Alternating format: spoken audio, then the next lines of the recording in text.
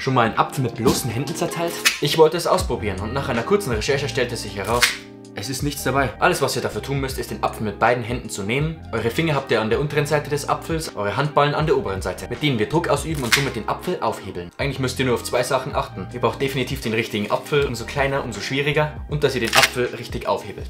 Was mache ich jetzt mit den ganzen Äpfeln? Für mehr solcher Videos folgt gerne diesem Kanal. Na dann viel Spaß beim Apfelteilen. Tschüss!